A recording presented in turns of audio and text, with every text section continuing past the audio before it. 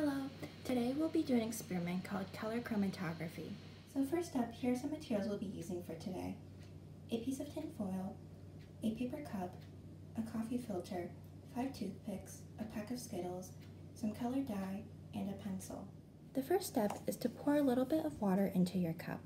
Make sure it's not too much and that it just covers the bottom layer.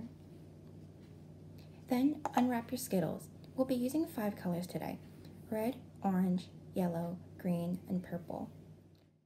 Dip your finger into the water and place a small droplet in front of each Skittle. We'll be using this to take the dye off the Skittle.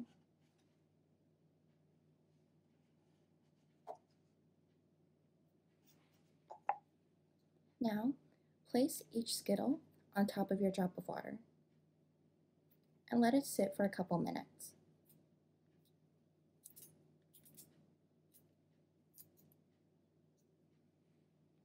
You'll notice the water start changing color. That is the colored dye on the Skittle coming off. Meanwhile, we can set this aside and fold our coffee filter. You want to fold it into a rectangular shape, shape. so some, something like this.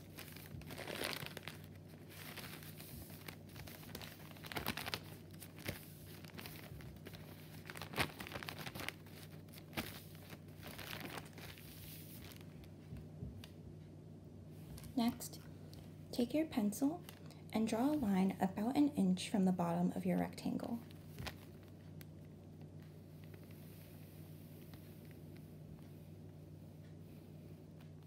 Mark off six notches that are evenly spaced. These will correspond to your different colors.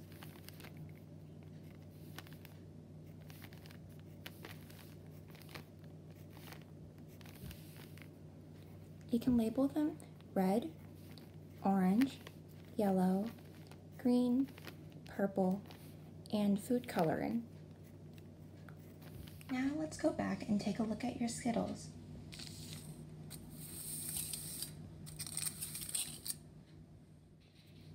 Take each Skittle off its drop of water. There should be a very bright colored dot underneath the Skittle. Next, dip each toothpick into your colored dot and draw another dot on the notch you made on your coffee filter. Try to make the dot as brightly colored as possible.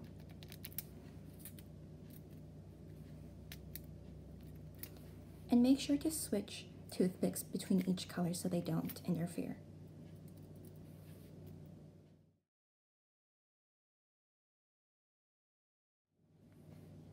If you think your Skittles dots aren't bright enough, you can repeat the previous steps and get more colored dots on your foil. If you have some food coloring left over from last time, you can also put a droplet on the food coloring notch that we made.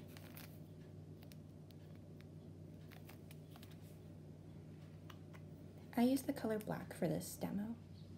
Give it some time to dry. Your coffee filter should look like this in the end.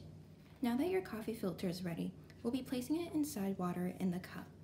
Make sure that the water is only a thin layer at the bottom of the cup. You can fold the paper so that it stands inside the cup like this.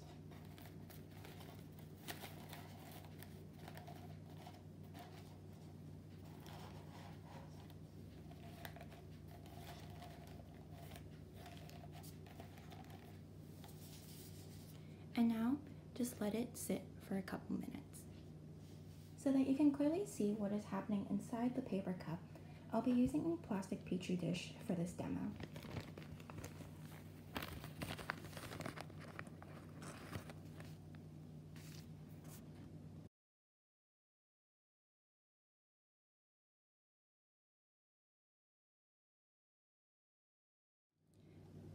After five or so minutes, take your coffee filter out of the cup and squeeze the bottom to get rid of any excess water.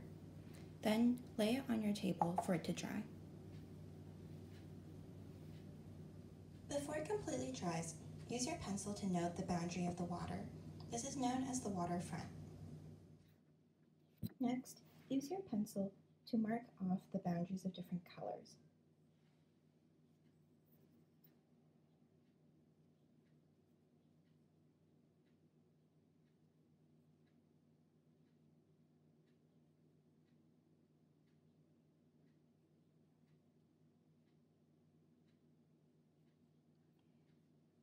For colors that have multiple, mark it off at every single one.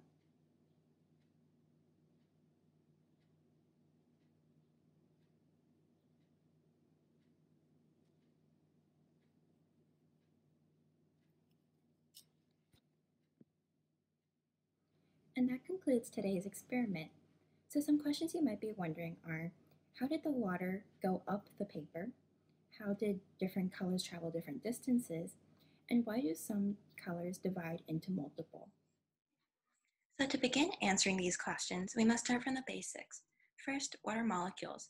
Molecules are a group of atoms that are bonded together. Atoms, as we covered earlier, are the smallest unit of matter. Everything around us are made of atoms and molecules. When two different types of molecules are combined together, they can form something called mixtures. There's also something called electric charge. Positive and negative charges exist around us as well. Like charges repel and opposite charges attract. Some molecules are polar, meaning they have a positively charged end and a negatively charged end. For example, water is a polar molecule. In the diagram below, you can see that the ends that have hydrogen are more positive and the end with oxygen is more negative. There are polar and nonpolar molecules. Polar molecules like other polar molecules and nonpolar molecules like other nonpolar molecules. But polar molecules and nonpolar molecules do not stick together well. And this is because charges within the polar molecules attract each other and repel the nonpolar molecules. A very common example is water and oil. Oil is a nonpolar molecule, so it does not mix well with water. Now we can answer the question why water was able to move up the coffee filter. This is known as capillary action. It is the ability for water to travel upwards against the force of gravity. Remember that water is a polar molecule. Paper, which is made from cellulose, is also polar. There are two key words to learn here. First, cohesion. Since water molecules are polar, they tend to form very strong bonds with other water molecules. The second word is adhesion. Because of the charges on water molecules in cellulose, water molecules tend to stick to paper as well. In more general terms, cohesion is the ability of similar molecules to stick to each other, and adhesion is the ability of different kinds of molecules to stick to each other. For paper and water, the adhesive force is stronger than the cohesive force. So that means these charges can pull water up the coffee filter. One very common example of capillary action that you see every day is in plants. As water goes from the roots to the leaves of plants, it uses cohesion and adhesion to pull the next water molecule up toward the roots. The sun helps by evaporating the topmost molecule of water, which means that all the other molecules can go up as well, and water can flow through the plant. Another example of cohesion and adhesion is when you pour water into a cup.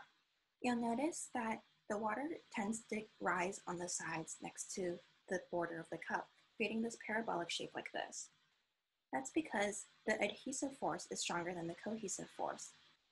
For compounds such as liquid mercury, when you pour it into a cup, it will actually create an upward parabolic shape because the cohesive force between mercury molecules is stronger than the adhesive force to the sides of the cup.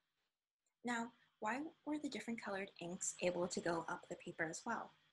Since food coloring is soluble in water, as water travels up the paper, it carries the ink, so the ink is also traveling upwards. Different colors travel at different amounts because they have different sizes. The black ink separated into four different colors, red, yellow, green, and blue.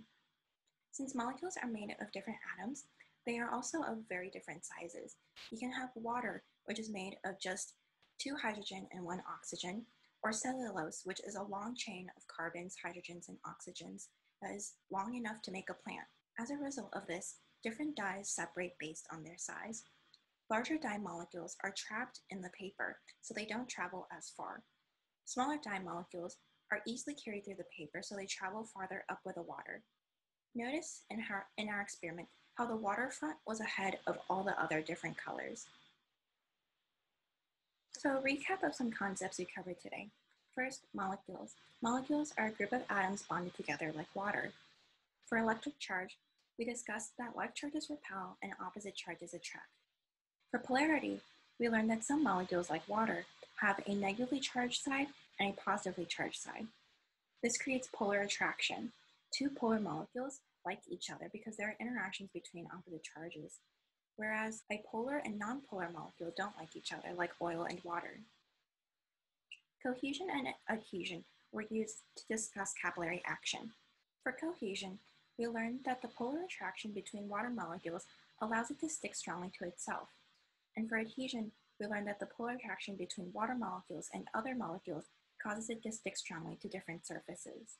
So this presentation was created by Sabrina and Sidra me from Opportunity X. We hope you had fun today and learned a lot. If you have any questions, feel free to email Opportunity X or put it in the comments below. Thank you, and we'll see you next week.